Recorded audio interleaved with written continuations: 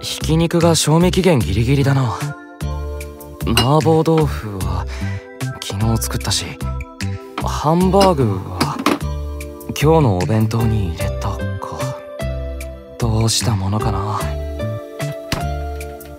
ただいま CV 今日はちょっと冷えるね。あれ何を悩んでるの？ああシアン。今晩の献立を何にしようかと思ってねシアンは何か食べたいものがある？ああそれだったら今晩は私が作るっていうのはどう？メニューも私にお任せ。何が出てくるかはお楽しみってことで。シアンが？うん。家事のこといつまでも全部 GV に任せっきりってわけにもいかないし私だって日進月歩日々進歩してるんだよ。それはいいけどひき肉が。この子ったら料理の腕を振るえる機会をずっと伺っていたみたい。この間から隠れて特訓したりしてね。モルフォそれは秘密だってば。そっか。それなら今日はシアンにお願いしてみようかな。よかったじゃないシアン。腕の見せ所よ。別にモルフのおかげじゃないけど。任せて。じゃあ私着替えてお買い物行ってくるね。ひき肉はしょうがないか。もったいないけど処分しておくかな。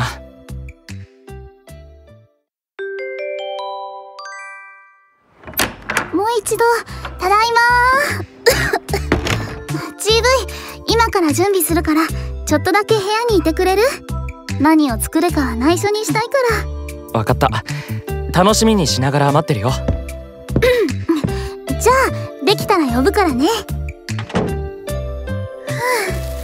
ちょっと疲れちゃったけど材料はバッチリ。卵に鶏肉玉ねぎ三つ葉。メニューは親子丼。そういえば授業で作ってたわね。モルフォうん。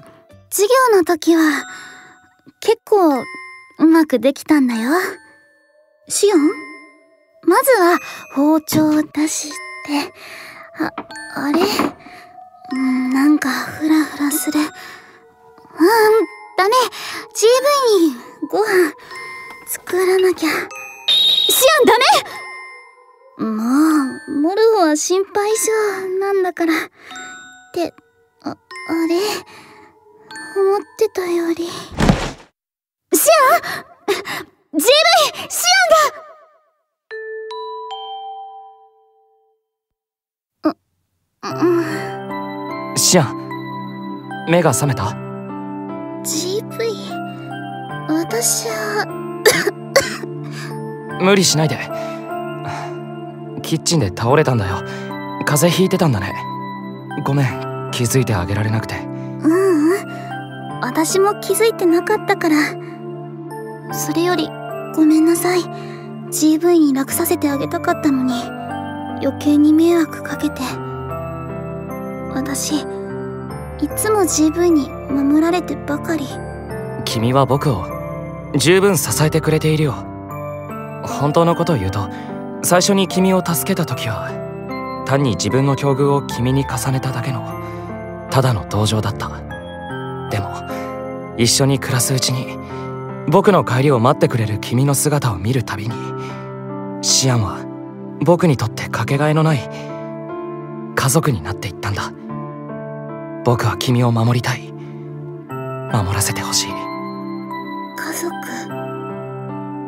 GV がそう言ってくれるのはすごく嬉しい。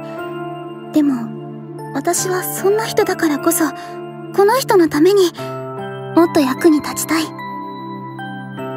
GV 私はああいや違うの。これは。これ作ったんだけど食べられそう。これって鶏と卵のおじや。シアンが買ってきた材料を使っちゃったけど。うん。食べよあでもまだちょっと暑いかな。思っていたより早く目が覚めたから。あのじゃあ夫婦して。ん？うん何でも